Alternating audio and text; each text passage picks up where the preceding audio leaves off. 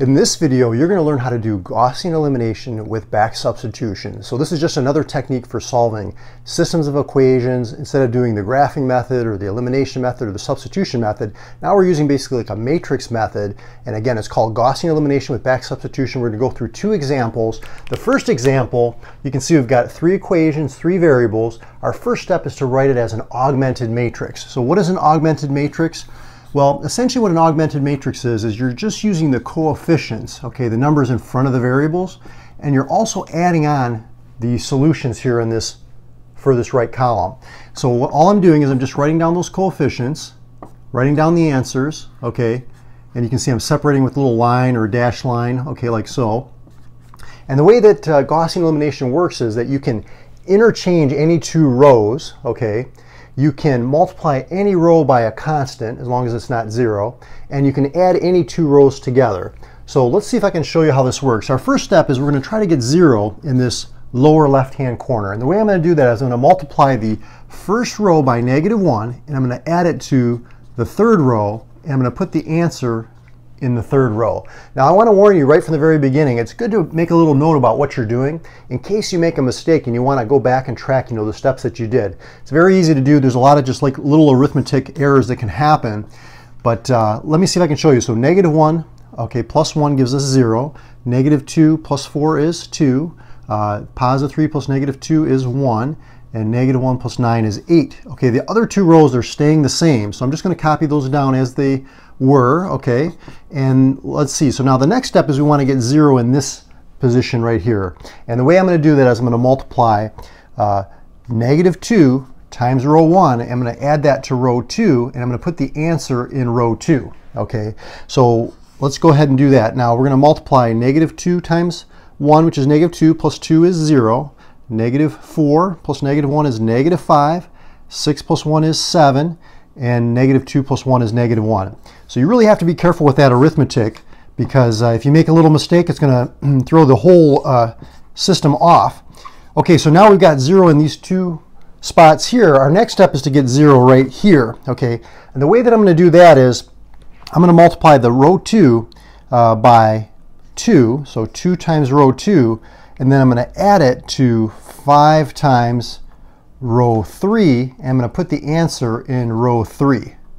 Okay, so you're with me so far? So let's go ahead and do that. So we're going to say 2 times row 2. Okay, so that's going to be 0, and then this is going to be, uh, let's see, uh, negative 10 plus positive 10. That's going to give us a 0. Uh, okay, good. And then this is going to give us 14 plus 5 is uh, 19, right? And then over here we've got negative 2 plus 40, which is 38. Okay. Now the other rows, they don't change. They're staying the same. So I'm just going to copy those down. It's a lot of um, a lot of writing, but the nice thing is you don't have to write the variables over and over again. So now you can see we've gotten zeros here in this lower left-hand corner. The next step is you want to get ones on the diagonal. Okay, so you're with me so far. You want to get ones on this diagonal. So what I'm going to do is I'm going to multiply uh, 1 19th times row 3. I'm going to put that answer in row 3. I'm also going to multiply uh, negative 1 fifth times row 2, and I'm going to put the answer in row 2. And then the first one is already starts with a 1, so we're good there. So let me go ahead and uh, do that next step here. So that's going to give us, let's see, what do we have here? We've got 1, 2, negative 3, uh, 1. Okay, and we've also got 0, 1, and let's see, negative 7 fifths, and we're multiplying by negative 1 fifth, so this is 1 fifth. And let's see, what else do we have? We've got 0, 0, 1, and 2. Okay, so now if you can see what we've got so far, this we're going to rewrite these as equations now. So this is actually the top equation is 1x plus 2y minus 3z equals 1. The second equation is 0x plus 1y minus 7 5 z, 7 fifths z equals 1 fifth. And the last one is uh, 1z is equal to 2. So now here's where the back substitution comes in. You see this kind of stair-step pattern. We've got one variable, one equation. You know, we've got the second equation's got two variables. The top equation's got three variables. So we're just going to back substitute. So if I put 2 in for z, Okay, we already know what z is. We've got y minus 7 fifths times 2 equals 1 fifth. So that's going to be y minus 14 fifths equals 1 fifth. And if we add the 14 fifths to the other side, we get 15 fifths, which equals 3. Okay, so now we know what z and y are. We just have to solve for x. Let's go to the top equation. We've got x plus 2 times 3, because that's what y is, minus 3 times 2, that's what z is, equals 1. So we've got x plus 6 minus uh, 6 is equal to 1. The 6 and the negative 6 cancel, so you can see x equals 1. And if you want to write your final answer, you would write it as a triple. x is 1, y is 3, z is 2.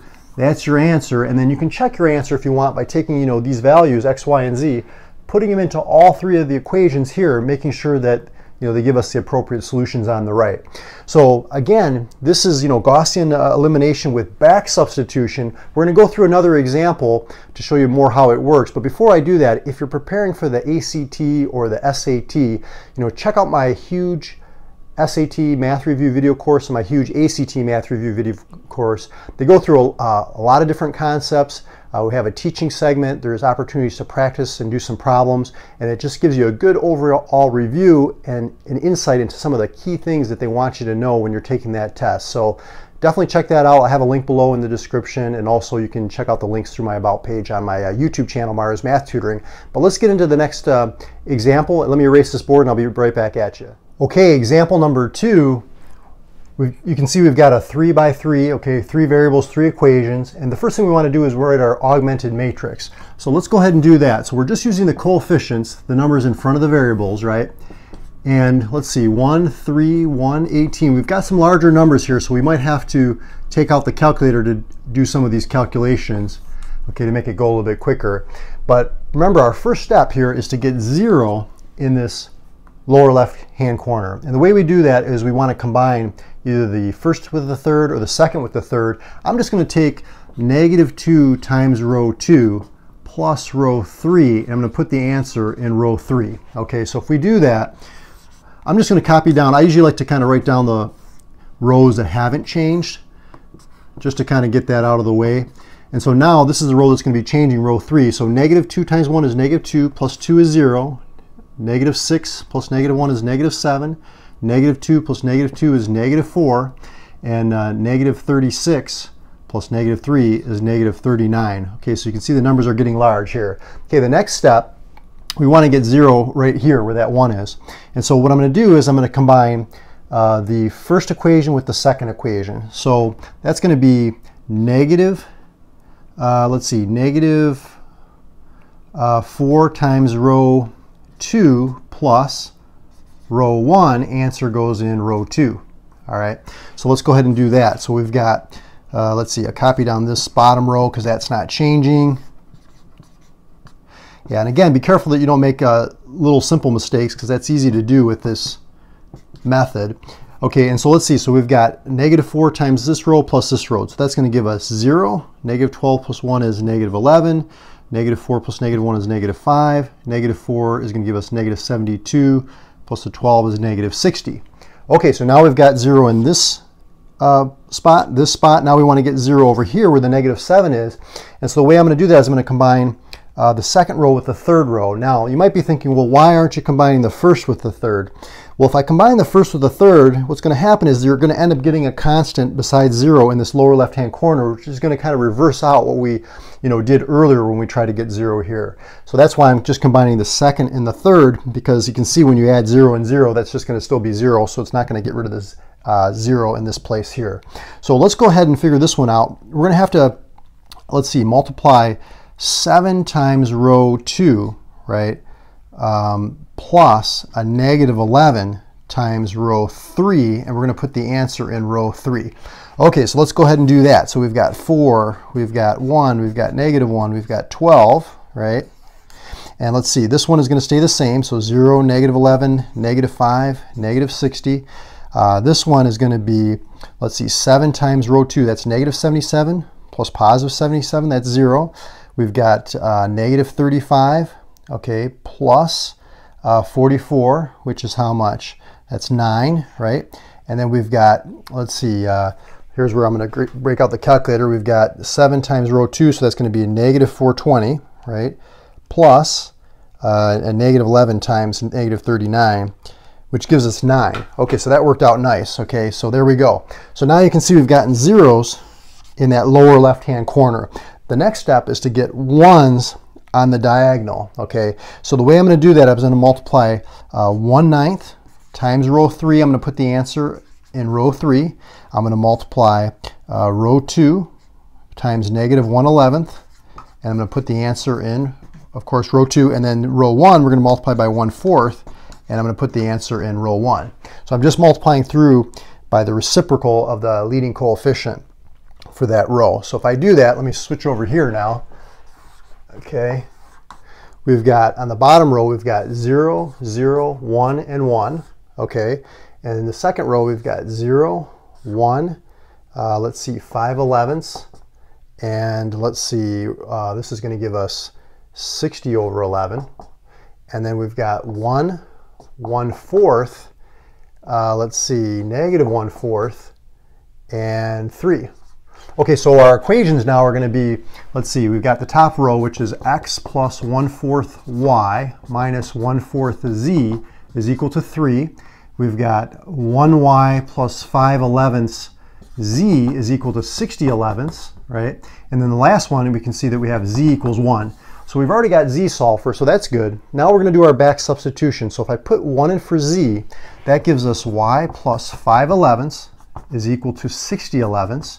Subtract the 5 elevenths, and that gives us y is equal to 55 elevenths, which is equal to 5. Okay, so we know what y is now. Now we just have to solve for x. So Let's put those other values in. We've got x plus, uh, 1 fourth times y, which is 5.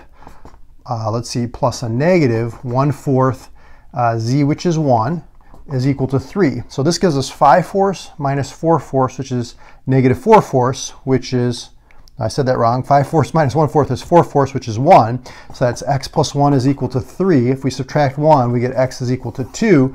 And if we write our final answer as a triple, we've got x is 2, y is 5, and z is 1. And that's our answer. And again, if you want to check your, you know, to make sure you did it right, you can take these values, put them in for x, y, and z in all three equations, and, you know, verify that you've done it correctly. And that's exactly right. So this is how to do the Gaussian elimination with back substitution. I'm going to have another video where we do the Gauss-Jordan elimination with the row reduced echelon form. So if you're interested, uh, take a look at that video and uh, go ahead and subscribe to the channel. Check out more math tutoring videos on my YouTube channel, Mario's Math Tutoring. I look forward to helping you in the future videos and I'll talk to you soon.